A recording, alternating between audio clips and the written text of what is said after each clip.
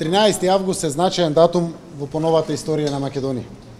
Денес одбележуваме 17 годишнината од подпишувањето на Охридскиот рамковен договор кој стави крај на конфликтот, ги постави темелите на соживот во Република Македонија и го осигура интегритетот на нашата заедничка држава.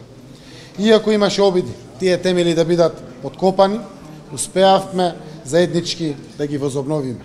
Денес градиме едно општество за сите. Општество каде сите се еднакви и имаат еднакви можности. Општество каде законот важи одеднакво за сите. Во исто време се помиривме со нашите соседи и го затврстивме пријателството. Со Република Бугарија подпишавме договор за пријателство, добрососедство и соработка и ги заштитивме националните интереси на двете страни. Истовремено ја поттикнуваме и олеснуваме заедничката европска иднина на младите од двете земји, како и меѓусебната економска соработка. Договорот со Бугарија, како и договорот со Грција, се документи кои градат мостови меѓу граѓаните и кои создаваат сојузништво. Договорот со Република Грција го подпишавме во интерес на едината на Република Македонија и на сите граѓани на ова наша земја, без разлика на етничка, верска или политичка припадност. Договорот го заштитува македонскиот идентитет. Македонскиот идентитет според членот 7 од договорот ги отсликува нашата територија, нашиот јазик и нашиот народ со своја историја, своја култура и со свое наследство. Со договорот, нашето државјанство е потврдено како македонско. Официјалниот јазик на нашата држава е заштитен како македонски јазик, без фусноти или додавки. Македонската иднина е загарантирана. Со подпишувањето на договорот во Преспа ја отстранивме и последната пречка на патот на нашата земја за влез во НАТО и за почеток на преговори за влез во Европската Унија. Стануваме членка на семејството на НАТО и на Европската Унија, каде што вредносно и цивилизацијски припаѓаме. Обезбедуваме стабилност, безбедност, економски развој, раст и подобар животен стандард. Она што ни престанува е да бидеме храбри Храброста значи обединети, горди и достоинствено заедно да кажеме да за заедничката светла иднина. На 30 септември секој од нас има можност да биде еден од творците на Европска Македонија. Историската шанса за нашата иднина е пред нас, имаме одговорност да ја искористиме, да кажеме да за македонската иднина. Благодарам. Повелете прашање. Премиера, само 3% од граѓаните го прочитале договорот со Грција. Како мислите да ги убедите до 30 септември што месец и полима дека е ова како што го кажувате, со оглед дека кампањата почнате само на Facebook да ја водите за сега првото прашање, а второто е ова што се случи со Бугарија, дали го дали го оценувате тоа како уцена страна на Бугарија, пораката од Борисов за Европскиот совет и дали прашањето со Бугарија не е затворено и дали тоа предизвик за договорот со Грција? Добро, договорот е техниката, алатката со кој што ги затворивме отворените прашања. Но ние мораме да продолжиме во духот на договорот да внимаваме на градењето на нашето пријателство, заради тоа што заедничка ни е едината. Рековме на темелите на минатото и на историјата, ја градиме нашата заедничка иднина, која што треба да обезбеди иднина на нашите потомства, на генерациите што доаѓат, но и на сегашните генерации.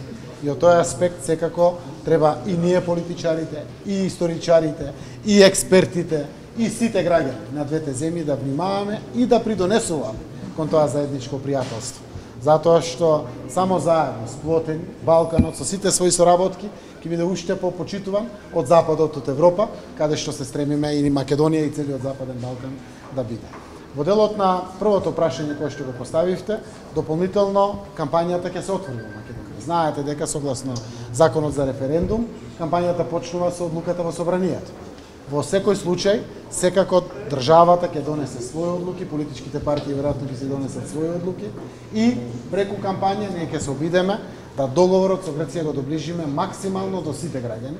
Јас апелирам и во оваа можност да ги повикам граѓаните, да го погледнат договорот, да видат дека сето она што е потврдено, што беше проблематично со нашиот идентитет е целосно потврдено. За гарантиране македонскиот идентитет, кој што беше спорен, за гарантиране македонскиот јазик. Ова е преведливо на сите јазици. Никогаш повеќе, никој не го спори нашиот идентитет, нашиот македонски јазик и нашата македонска посебност. Секако напоменувам, не беше никогаш спорен идентитетот на помалку бројните етнички заедници во државата. Ова е историско прашање. Ова е вековната борба на нашите предци. Ние сега имавме чест да ја заокружиме. Од тоа верувам дека државата и владата има целосно право да информираат јавност на граѓаните пред да ја донесат оваа историска одлука.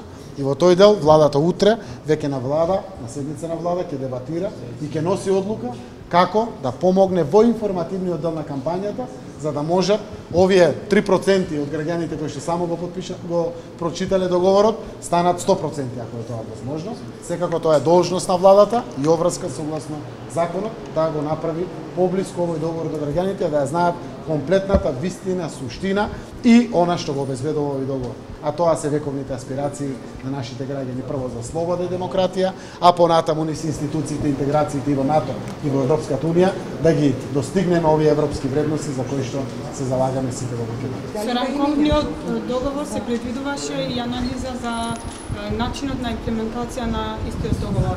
До сега немаме некои резултати или информации до каде е спроведено рамковниот договор. Вие како влада дали ќе го земете на, на предвид тој тоа анализа и кога ќе биде донесен во владинска седница? Добро, анализата за спроведувањето на рамковниот договор е онлайн и буквално се прави постојано, секогаш и континуирано. Знаете дека и правно-формалниот аспект на рамковниот договор преку Законот за употреба на јазиците јавно го коментиравме како последен правно-формален аспект.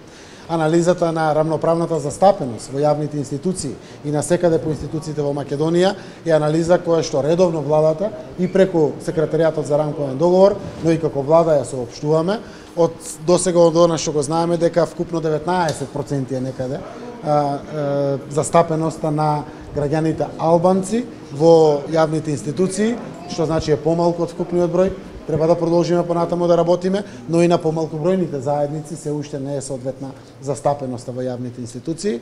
На последната седница на владата реферираше управа за приходи како една од поголемите институции за бројките. На секоја седница на влада ќе имаме по една институција, се со конечна цел да мобилизираме од аспект на рамноправната застапеност на сите граѓани да учествуваат во работата на државата, а преку тоа да оградиме едното општество за сите, меѓу другото, покрај сите други аспекти и да придонесеме сите земјата своја да ја чувствуваат вистински за своја, со сите своји права и со сите своји одговорности.